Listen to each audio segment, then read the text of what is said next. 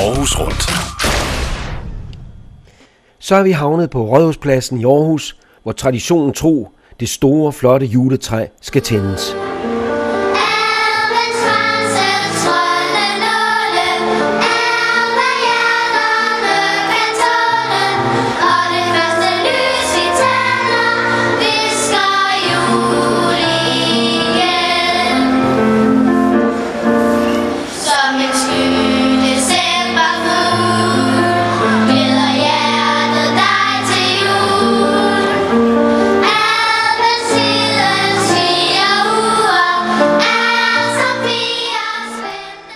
Borgmester Nikolaj Vammen har travlt med at tænde juletræer. Først var det i den gamle by, hvor han havde et flot gaveløfte til alle byens børn. Og så skulle der holdes tale på Rådhuspladsen, hvor det flotte 24,5 meter høje juletræ fra Store Jølund Plantage er stillet op. Og til alle jer børn, der er her, fordi der er rigtig mange, har jeg set, både med nissehuer og uden nissehuer, så skal I vide, at nu nærmer vi os jo julen, hvor man kan være heldig at se en nisse, når man går rundt de er ikke ret store, de er faktisk ikke større end sådan der.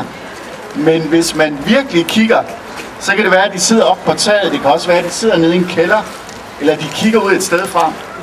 Så hvis man er rigtig, rigtig heldig, så kan det være, at man ser en nisse. Og selvom man ikke ser en nisse i dag, så skal I ikke blive ked af det. For det er den 24. december. De voksne synes ikke, der er ret lang tid til. I synes, der er rigtig lang tid til. Den 24. december, her kommer julemanden med gaver til jer. Og det er et løfte fra borgmesteren. så med de bemærkninger, så tror jeg, at vi er nået dertil, hvor øh, det kunne være en rigtig, rigtig god idé at tænde træet. 0. Høj! Tak skal I have. Tusind tak til borgmesteren. Og så rykker vi en uge frem hvor vi er havnet, som sagt, på Rådhuspladsen i Aarhus, hvor at borgmester Nikolaj Vammen skal holde sin tale. Kære alle sammen, nu skal I ikke længere kigge op mod Rådhuset, nu skal I kigge hen mod træet. Rigtig hjertelig velkommen til jul her på Rådhuspladsen, hvor vi om lidt vil øh, tænde byens flotte juletræ. Det er en fast tradition, at vi tænder træet den første søndag i advent, og det er jo netop i dag. Og nu er der sikkert en masse børn, og måske også nogle voksne, der spørger, hvor mange lys er der på det træ? Det er svært at gætte, men der er rigtig mange lys. Der er næsten 700, så I skal glæde jer til, at det bliver tændt lige om lidt. Og så er det også et rigtig stort træ, vi har i år. Det er 24,5 meter højt. Og det betyder, at det er næsten halvt så højt som Rødhustårnet. Så det er virkelig et stort træ, vi har her. Når træet om lidt er tændt, ja, så ved vi, at så er julen kommet til Aarhus. Med alt det dejlige, den bringer med sig. Og jeg ved godt, at rigtig mange, nok ikke mindst til de voksne, der står her, kan se frem til travle uger. De skal drøne rundt og ordne alt muligt. Men jeg håber også, at man vil huske på, at december er en tid, som vi forbinder med julehygge, varme og nærvær. Glæden vi har været sammen med dem, som står vores hjerter nær, dem som vi holder af, børn og voksne, familie og venner. Det er det, julen handler om. Og vi glæder os.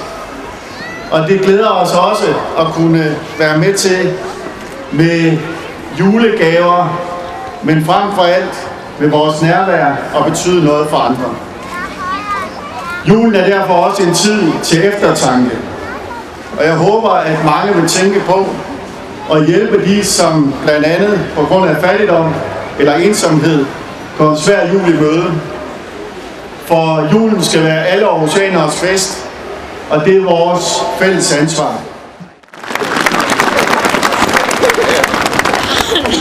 Til slut, så vil jeg ønske alle en rigtig glædelig jul. Og så er vi næsten klar til at få tændt juletræet. Malte og Nicoline og Philip, Larissa, Rasmus og Sebastian står heroppe hos mig. Men jeg ved også, der er rigtig mange andre børn og også voksne, der vil være med til at tænde træet. Og vi har lavet en god tradition, og det er, at vi i fællesskab tæller ned fra 10. Og jeg vil spørge, er alle børn klar til at tælle ned fra 10? For så sker det. Er I klar? Ja, lyder det. Det var godt. Så starter vi med 10, og når vi så kommer ned til 0, så drejer vi på knapperne herop, og så skulle der meget gerne komme lys i 700 pærer. Det tager lige et lille øjeblik, fordi det er energisparepærer. Fordi så passer vi også på miljøet. Så I skal ikke blive kede af det, hvis der lige går et sekund. Men vi er klar nu. Julen er på vej til Aarhus. 10, 9, 8, 7, 6, 5, 4, 3, 2, 1,